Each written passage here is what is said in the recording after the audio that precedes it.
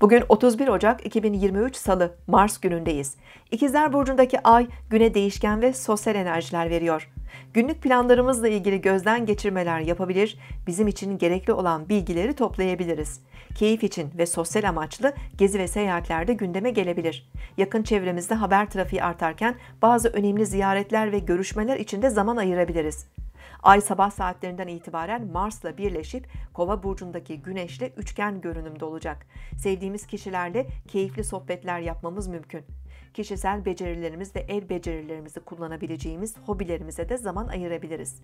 İlişkilerimizde entelektüel paylaşımlar ve fikir alışverişleri daha çok öne çıkabilir. Cesaretle ve idealistçe yeni deneyimlere girebilir, risk alma eğiliminde olabiliriz. Kaza ve sakarlıklara da daha yatkın olabileceğimizden kontrollü olmalı, dürtüsel eylemlerden uzak durmalıyız.